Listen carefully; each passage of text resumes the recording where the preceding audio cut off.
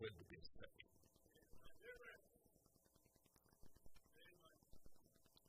You have the Bibles this morning. Turn with me, please, to the book of Jeremiah. Jeremiah chapter number 33. Jeremiah chapter number 33 want to say again, thank you for being here in the service with us today at Bible Way. We love for you to come back and be with us any time and every time that you possibly can. We're just uh, old fashioned church. Loves the Lord, loves the Bible, loves to sing, loves to worship. And we love each other, thank God. Jesus said, By this shall all men know that you're my disciples, if you have love one toward another. Amen. Jeremiah chapter number 33. We'll begin reading in verse number 19. You've been sitting for a while. If you will, reverence to God's word, would you stand with me, please? Jeremiah said, And the word of the Lord came unto Jeremiah, saying, Thus saith the Lord, if you can break my covenant of the day and my covenant of the night, that there should not be day and night in their season, then may also my covenant be broken with David, my servant, that he should not have a son to reign upon his throne, and with the Levites, the priests, my ministers and the host of heaven cannot be numbered, neither the sand of the sea measured. So will, uh, excuse me, as the host of heaven cannot be numbered, neither the sand of the sea measured, so will I multiply the seed of David, my servant, and the Levites that minister unto me. Moreover, the word of the Lord came to Jeremiah, saying, Considerest thou not what this people has spoken? saying, The two families which the Lord hath chosen, he hath even cast them off. Thus they have despised my people, that they should be no more a nation before them. Thus saith the Lord, If my covenant be not with day and night, and I have not appointed the ordinances of heaven and earth, then will I cast away the seed of Jacob and David my servant, so that I will not take any of his seed to be rulers over the seed of Abraham, Isaac, and Jacob. For I will cause their captivity to return and have mercy on them. If correctly read, uh, that's verse number, I think we started in 19 down through verse number 26. You can be seated. Pray with us, please. Father, thank you this morning for the privilege to be in the house of God now. Lord, I pray this morning that you would give us clarity of thought, clarity of mind, clarity of speech. God, that we might share with these precious people the thought that you put in our heart for the service today. Thank you for everyone, Lord, that's bowed their head this week and prayed for the Bible school. Thank you, Lord, Lord, for those that bowed their head and prayed for the pastor this morning. And I pray, dear Lord, that you would do your office work now in our midst. May the Spirit of the living God speak to hearts today. God will give you glory for all that you do. We ask it in Jesus' name. Amen and amen. I'm titling the message today, As Sure as There Is Day and Night. As sure as there is day and night. The Bible said here, Thus saith the Lord, if you can break my covenant of the day, I'd like to see somebody do that. Break my covenant of the night, that there should not be day and night in their season. Then may also my covenant be broken with David, my servant. God makes this covenant or this agreement through the Word of God. We're going to touch on five of those this morning. Just touch on them. Just want to just lay a little bit of groundwork and let you see that God, uh, beloved, when He He makes a covenant, He means business. Amen. And uh, there was a time in, in, in our country that there was probably not much that you could do in writing that was more powerful than a man's word and a handshake. That's all you had to do. Men were good for their word, amen. If they said, I'll pay you Friday, you didn't have to guess which Friday. It meant this Friday. Say amen. And if, if they said they would do something, they would do it. But I want you to know the Bible declares that God cannot lie. When God says He's going to do something, beloved, He means it. Amen. When God makes a covenant, God's people don't always live up to their end of the agreement. But God always, I said always, the God of heaven who cannot change, the God of heaven who cannot lie, always keeps his word. And I thank God for that. Let me just touch very briefly on several of the covenants. And if you'll turn with me to Genesis chapter number 9 this morning, we're just uh, laying a little bit of groundwork. Genesis chapter number 9, you have the covenant that God made with Noah. And, uh, you know, if, if you say, well, Pastor, you, you think the world will ever be uh, destroyed again like it was in the days of Noah? No, not like that. There, there's not going to be another flood like there was in the days of Noah. He said, Pastor, how can you say that emphatically? I did, and God did, and I just believe what God said. Amen. The Word of God said in verse number 11 of chapter number 9, And I will establish my covenant with you, neither shall all flesh be cut off any more by the waters of the flood, neither shall there any more be a flood to destroy the earth. And God said, This is the token of the covenant which I make between me and you, and every living creature that is with you, for perpetual generations. I do set my bow in the cloud, and it shall be for a token of the covenant between me and the earth. Wouldn't it be good if everybody in this building today, the next time they see a rainbow, would just remember God made a covenant with Noah? Amen. God said, I'll never do what I've done again. I'll never destroy the earth again, uh, beloved, with a flood. He said, I set my bow in the cloud. Look at verse 14. It shall come to pass when I bring a cloud over the earth that the bow shall be seen in the cloud. And I will remember my covenant. This blew my mind when it, God got a hold of it the first time. You know, you wouldn't think about God having to remember anything. But God said, not only are we going to see that bow, but He said, I'm going to see it too. And He said, every time I see it, I'm going to remember the covenant that I've made with you which is between me and you, and every living creature of all flesh, and the waters shall no more become a flood to destroy all flesh. And the bow shall be in the cloud. I will look upon it, that I may remember the everlasting covenant between God and every living creature of all flesh that is upon the earth. And God said to Noah, This is the token of the covenant which I've established between me and all flesh that is upon the earth. That's the covenant that God made with Noah. Turn over a few pages, please, to Genesis chapter number 12. Genesis chapter number 12. Genesis chapter number 12, I'm going to read just three verses here. In Genesis chapter number 12, there's a covenant that God has made with Abraham. Now the Lord said unto Abram, Get thee out of the country, out of thy country, and from thy kindred, and from thy father's house, unto a land that I will show thee. And I will make of thee a great nation, and I will bless thee, and make thy name great. Hallelujah. You think about Abraham, the thousands of years that's went by. We're still talking about him, still teaching about him in Sunday school. Amen. Abraham believed God, and it was counted unto him for righteousness. I believe God made his name great, don't you?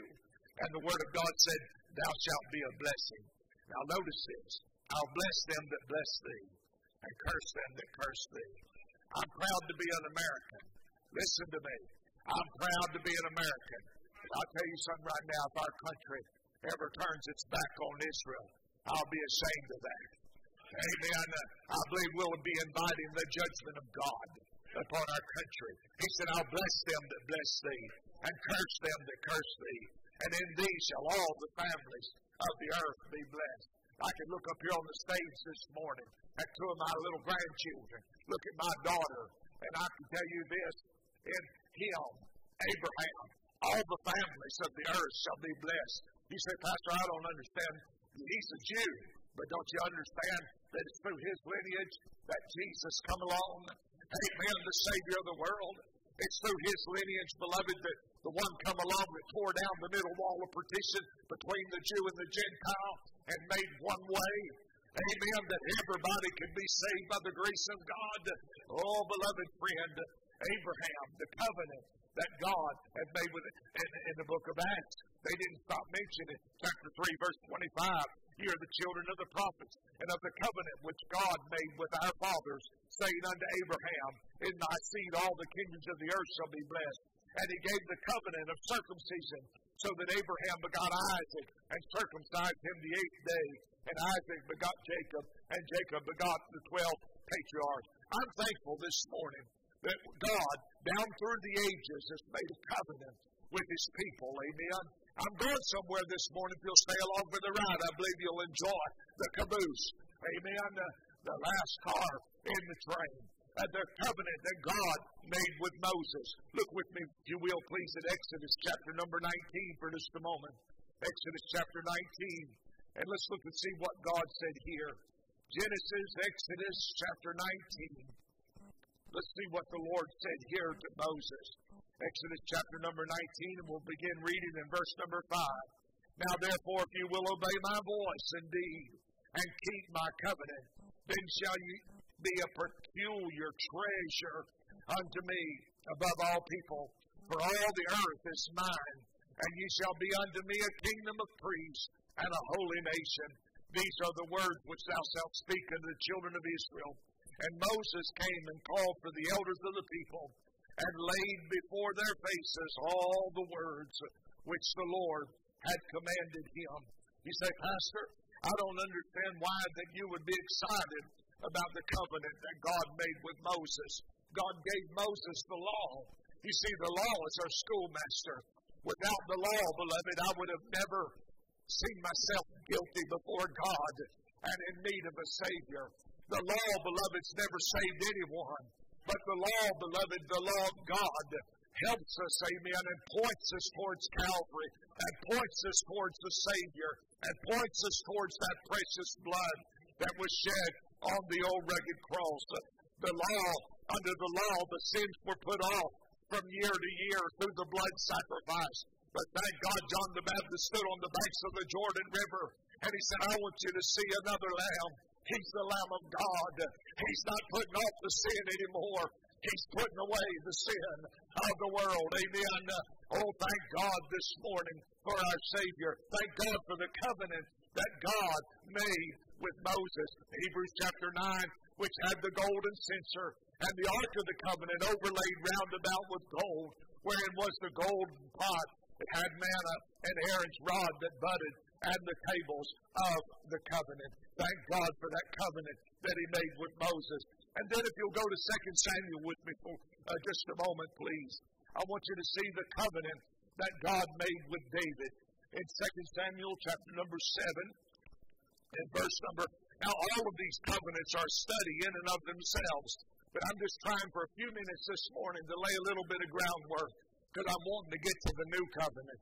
Amen. I'm wanting to get to that covenant, amen, that God tells us about. He starts actually give us some insight over in the book of Jeremiah. And I'd like to get to that this morning. 2 Samuel chapter number 7. Let's start reading in verse number 8. Now therefore, so shalt thou say unto my servant David, Thus saith the Lord of hosts, I took thee from the sheepcote, from following the sheep, to be a ruler over my people, over Israel. And I was with thee whithersoever thou wentest, and have cut off all thine enemies out of thy sight, and have made thee a great name. There it is again, likened to the name of the great men that are in the earth. Moreover, I will appoint a place for my people Israel, and I will plant them, and that they may dwell in a place of their own, and move no more. Neither shall the children of wickedness afflict them any more, as before time and as since the time that I commanded judges to be over my people Israel, and have caused thee to rest from all thine enemies, also the Lord telleth thee that he will make thee a house. This is a covenant that God made with his servant David.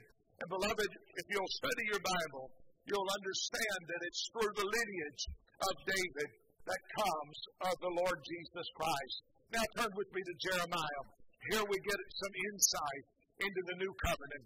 In Jeremiah chapter number 31 and verse number 31. Behold, the days come, saith the Lord, that I will make a new covenant with the house of Israel and with the house of Judah. Not according to the covenant that I made with their fathers in the day that I took them by the hand. Ain't that good? Amen. I tell you what, Moses wasn't beating on his chest and saying, Look at me. He knew it was the God of heaven, amen, that led him out of the land of Egypt. It was the God of heaven that delivered him across the Red Sea. It was the God of heaven that preserved them in the wilderness. It was the God of heaven, amen, that brought them into the promised land. And it's the God of heaven that deserves all the glory. He took us by the hand and led them out of the land of Egypt, which my covenant uh, they break, although I was a husband unto them, saith the Lord. In other words, God is telling us in this text, in that old covenant, beloved, He kept His word, but they didn't keep their part of the covenant. Amen. In the old covenant, God said, If you will, I will. If you will, I will. The old covenant, beloved, more or less says this do, do, do, do. Hallelujah. But you get to the new covenant, and here's the word done, done, done, done.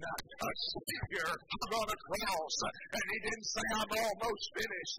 He said, It is finished. He gave His life, beloved, and under that new covenant, now listen, for the law came by Moses, but grace and truth came by Jesus Christ. And beloved, this morning, God's people ought to be thrilled that we're not living under that old covenant where we got to bring bulls and goats and turtle doves and pigeons uh, and shed the blood. But because that blood was shed on Calvary's cross, uh, we can worship the God of glory this morning, uh, the one that gave his life for you and gave his life for me.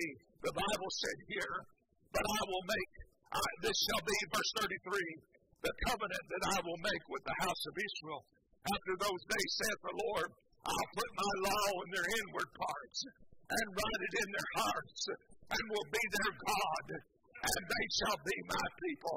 I want to ask you this morning, how many's glad, thank God, you can say you're one of His? Amen. You there's only one way you can say that, they say you can't join this family. You've got to be born into this family. You must be born again. And I tell you, thank God, uh, I'm in this church. Oh, yes. I didn't join. No, I was born. I had a birth. I'm talking about the church of the living God. The blood was applied. Thank God. He said, I'll put my law in their inward parts. I'll write it in their hearts. I'll be their God, and they shall be my people.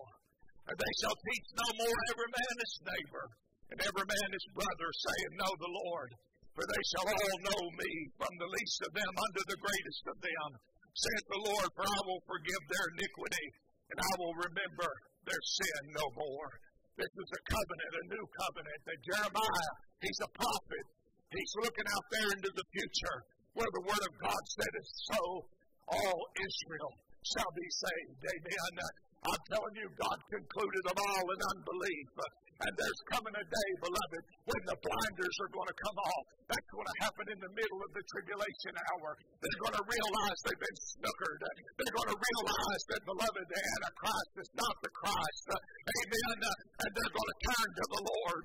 And the Word of God said, and so all Israel shall be saved. He said, Pastor, what's that got to do with us? I'm glad you asked. The Bible said in Hebrews chapter 8 and verse number 9, not according to the covenant that I made with their fathers in the day when I took them by the hand to lead them out of the land of Egypt, because they continued not in my covenant, and I regarded them not, saith the Lord. Hebrews 8 and verse 6. But now hath he obtained a more excellent ministry, by how much also he is a mediator. Listen to these two words of a better covenant. Oh, glory to God, which was established upon better promises. Oh, I, I thank God this morning. The Bible said, beloved, for whosoever shall call upon the name of the Lord shall be saved. I thank God this morning that faith cometh by hearing and hearing by the word of God. I thank God this morning that we can boldly say, He'll never leave us nor forsake us. I thank God this morning that we can realize that according to this covenant God has made upon these better promises, that Jesus is the same yesterday today and forever. He said in the book of Malachi, I am the Lord, I change not. We're living in a changing world. Amen. I'm telling you, beloved, it's changing by the minute. Amen. I'm not going to get into all the wickedness that's going on, but if you've got your head out of the sand and you're paying attention, I'm telling you, mankind is getting wickeder, not by the day, by the minute. Amen. But I thank God, listen, there's an answer for wickedness, and it's found in the blood of the Lord Jesus Christ. The Bible says a better covenant, which was established upon better promises. I'm talking about as sure as there's day and night. Now listen, if you can stop the day and stop the night, then you can stop God's covenant. But if you can't stop the day and you can't stop the night, you know what God's saying? You can't stop my covenant. Amen. I'm going to keep my word. The Bible said in Hebrews 8 7, for if that first covenant had been faultless, uh, there should no place have been sought for the second. And verse number 8, finding fault with them, he saith, uh, Behold, the days come, saith the Lord, I will make a new covenant with the house of Israel and with the house of Judah. Hebrews 8, verse number 10, For this covenant that I make with the house of Israel after those days, saith the Lord, I'll put my laws into their mind and write them in their hearts, and I will be to them a God, and they shall be to me a people. Hebrews 8, verse number 13, and that he saith, A new covenant he hath made the first old. Now that which decayeth and waxeth old is ready to vanish away. In Luke chapter 1 and verse 72, the word of God said to perform the mercy promised to our fathers and to remember his holy. I wish you'd put that word down in capital letters H O L Y. It's a holy covenant. Amen. Because it was promised by a holy God. And God wants his people to be a holy people. He said, Be it therefore holy, for I am holy. Amen. This covenant that God made with King David and his lineage, it foreshadowed the appointing of the greatest uh, of God's covenant with his people, that new covenant. And beloved, uh, the Davidic covenant blends with the new covenant as Jesus is that descendant of King David and fulfills the understanding of David's household ruling over Israel forever. The new covenant represents God's promise uh, to be his people's God, forgiving their sins. Is there anybody in the house this morning that's been forgiven? Anybody in the house this morning that knelt before God guilty and got us forgiven? Knelt before God filthy and got us clean? Knelt before God on your way to hell and got us on your way to heaven? I'm telling you, it's because God made a holy covenant, amen, with his people. We can come by way of the cross. Beloved, his people, they can make that, beloved, determination in their heart. I want Jesus. I wish I'd said this my entire ministry, but I didn't start saying it until I was in the prison. Listen, listen to me this morning. If you're lost without God, if you want a change in your life, I recommend Jesus. But if you don't want a change in your life, I don't have a recommendation because there's nothing else that's going to change your life. No one else is going to change your life. I, am telling you, beloved, there must come a time in our life. You say, Pastor, why would a person want to change in their life? Because they see their lives headed in the wrong direction. Amen. Uh, listen, Brother Jason was teaching in Sunday school, did a wonderful job this morning, talking about God saving us from sin. And this thought went through my mind God, you didn't just save me from sin, you saved me from myself. Amen. I'm telling you, beloved, all that's in man is to make a mess, amen, and to make a wreck out of his life. But Jesus come along and, beloved, gave his life that we could have forgiveness. We could have a new life in him. We can take up our new life in Christ and share that with others in this life changing experience that we have through the Lord Jesus Christ. Romans 11 27 said this This is my covenant unto them when I shall take away their sin. I, have said this before. There are many here this morning that didn't hear it. But I was in a prison one time preaching. I think this illustrates real well. I looked in my Bible and I found every sin that I could find. I looked it up and looked it up and looked it up. I wrote down adultery. I wrote down stealing. I wrote down drunkenness. I wrote down lust. I mean, I filled a four by eight chalkboard full of sins that's recorded in the in the Word of God. I, I wrote the word sodomy on there. I wrote the word fornication on there. I mean, every sin that I could find in the Word of God, I wrote it on, on that board. And I asked those men in the middle of the message, I turned the board around where they could read it. I said, How many of you men are guilty of some of this? Oh, they all went like that. I said, Let me teach you something, men. We're not guilty of some of this, we're guilty of all of this. I didn't point at them, Brother Michael, and say, You're guilty. I said, We.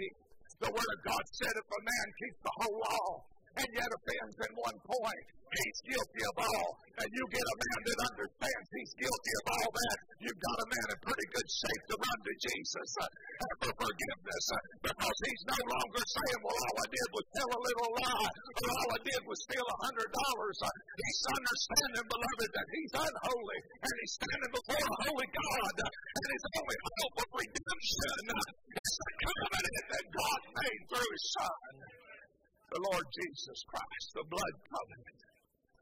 This is my covenant when I shall take away their sin. I erased those, Brother Larry.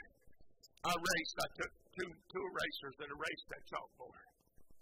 And, and man, I was having a good time. I said, here's what the blood of Jesus does.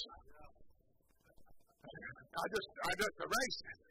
And then, then I said this. Now, I said, here you go, guys. Somebody come up here and take it out of this eraser and put it back on the board the way it was. I didn't have any volunteers, brother. Amen. Because God does a good job erasing.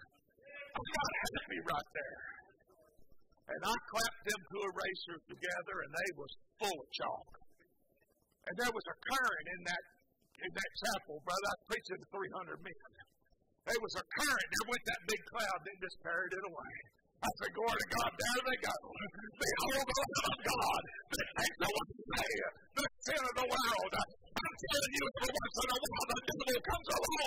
says, I'm going to write it back on your board. Oh, God made a covenant. He said, No, you're not going to do either. So there's the blood. What does it say? I see the blood of the Lamb. I see the righteousness of the Lord Jesus Christ. This is the covenant, Hebrews 10 16, that I will make with them after those days, saith the Lord. I'll put my law into their hearts, in their minds will I write them. Galatians 3:17, and this I say that the covenant that was confirmed before of God in Christ, the law which was 430 years after, cannot disannul. I say hallelujah. This covenant cannot be disannulled. Now listen to me. Hebrews 10 29 said, Of how much sore punishment suppose ye shall he be thought worthy who had trodden underfoot the Son of God and had counted the blood of the covenant an unclean thing. Years ago I was studying, studying about the Passover in Egypt. And I know there's nothing new under the sun, but I never read it after anybody. I just got to thinking about there's blood, the Bible said on the doorpost, and that's plural. That means both sides. And there's blood on the lintel. And God said, When I see the blood, I will pass over you. But, Brother Chris, the thought come to me where the blood was not. The blood was not to be put on the threshold. The blood is not to be walked on. The blood is not to be made to be walked over but the blood of Jesus Christ is our passageway. It's to be walked through. Amen. I'm going to heaven and I'm going through the blood of the Lord Jesus Christ. Amen. I appreciate the Lord. The Bible said Hebrews 12 24, and Jesus, the mediator of the new covenant, and to the blood of sprinkling that speaketh better things than that of Abel. The Bible said in Hebrews 13 20, the God of peace, now the God of peace that brought again from the dead, our Lord Jesus, that great shepherd of the sheep, through the blood. I love this word, the everlasting covenant. Amen. This is not a temporal thing. Thank God it's an everlasting covenant that God has made with his men. The old covenant said do, the new covenant says done. Thank God the law was given by Moses, but grace and truth came by Jesus Christ. Let me give you just a couple things that I wrote down here and I'm done. As sure as there's day and night, God made a covenant with his people. As sure as there's day and night, Jesus came to this earth to be born of a virgin. All the kids that were in Bible school probably remember this last week. As sure as there is day and night, beloved, he was tempted in all points, like as we are, yet without sin. As sure as there is day and night, he did always those things that pleased the Father. As sure as is day and night, he died for our sin according to the Scripture. And he was buried, and he rose again the third day according to the Scripture. You say, Pastor, you mean to tell me just, just as sure as the sun comes up and as sure as the sun goes down, I'm telling you, beloved, listen, that's what God said to Jeremiah.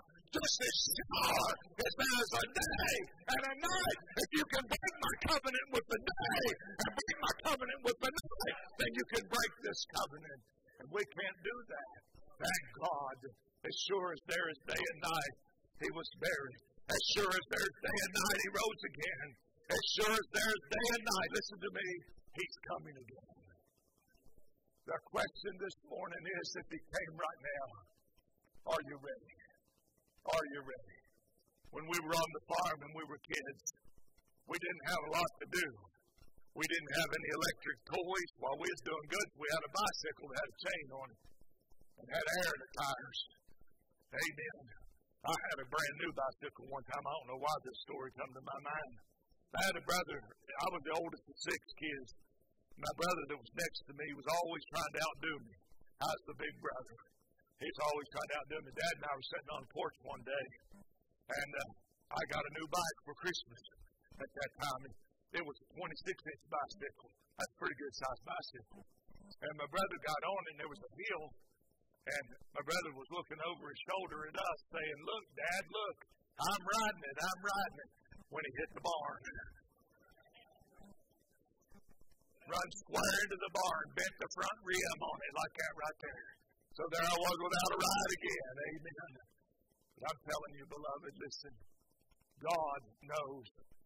We was on the farm and didn't have a lot to do. But one of our favorite things to do was play hide and seek. There was a corn a corn crib down there in that barn, and man, there's all kinds of places to hide. We didn't have enough sense to know the snakes hide where we hide. But anyway, we hide and seek. I remember that line, ready or not. Here I come. I want to tell you, friend, God has made a covenant. He's coming. You say, Pastor, I don't know why you have church. I don't know why you send missionaries. I don't know why people give their offering. I don't, I don't know why you have revival. I don't know why you have Sunday school. I don't know how, why you have Bible school. I'll tell you why. He's coming. And anybody that knows him, Brother Jason, wants others to go with us. Come on, go with us. Honey, we're going to a place where our hearts will never break again. We're going to a place, are you listening to me, where we won't grow old. We're going to a place, beloved, listen, where there'll be no disease. We're going to a place where all is peace forevermore on that happy golden shore. We're going to have a new body. Uh, listen, I, I, I feel sorry for Sister Kim because it's going to put her out of business. There's no pills where I'm going. Amen. Amen. And the other pharmacist as well. Amen. Going to have a perfect body. Going to have Jesus to worship forever and forever. There is a heaven to gain. As sure as there's day and night, there's a hell to shun. As sure as there's day and night. As sure as there day and night, listen to me, I'm done. There's one way to heaven. Jesus said, I am the way. He didn't say, I'm one of the ways. He said, I'm the way, the truth, and the life. As sure as there's day and night, there's only one way to holiness. That's through Christ the Lord. There's only one way to happiness. Isn't it amazing, beloved, that money doesn't make people happy? Amen. Somebody said this once, and I think it's worth repeating. A man is not rich in respect to what he has. A man is rich in respect to what he wants. Have you ever noticed that many people that are rich, all they want is more riches? They're never satisfied. You ever notice that? See, the psalmist David said, The Lord is my shepherd. I shall not want. He was content. The little boy in Sunday school's version went like this The Lord is my shepherd. What else could I want? I'm going to tell you something right now. There was, a, there was a man in Glade Spring, Virginia. His name was C.C. Shelburne. He was a professor at Radford University, very educated man, up in his 80s. And this lady that was taking care of him and cooking for him and cleaning the house, her name was Ruth. And Ruth told him, said, CC, you need to be saved. You need to be saved. She said to him one day, said, CC, you can't take that money with you. You need to be saved. He looked at her and said, Oh, yes, I can. Said, I'm going to have them to pack it in the casket all around me. And this lady, she was very wise. She said, That sounds good to me. She said, just before they close the lid on you the last time, I'm going to write you a check and take the cash. Said it'll do you just much good where you're going. Amen. You can't, you brought nothing into the world, and you're not going to take anything out. Amen. You come in naked, honey, you're leaving the same way. Amen. And I believe with all of my heart as sure as there's day and as sure as there's night, Jesus is coming again. There's only one way you can go with him when he comes. You must trust him as your Savior. You must believe on the Lord Jesus Christ. That Philippian jailer said, Sirs, what must I do to be saved? Paul said, Well, let me go over here and get my books out and I'll explain. No, no, no, no. He said, Believe on the Lord Jesus Christ. Thou shalt be saved and thy house. Beloved, have you trusted him? Have you trusted him? Do you know in your heart of hearts that if you come today, heaven would be your home? That's our desire. That's God's desire because it's not His will that any should perish, but that all, A double L all, should come to repentance. Let's bow for prayer. Father, thank you this morning for the privilege to be here.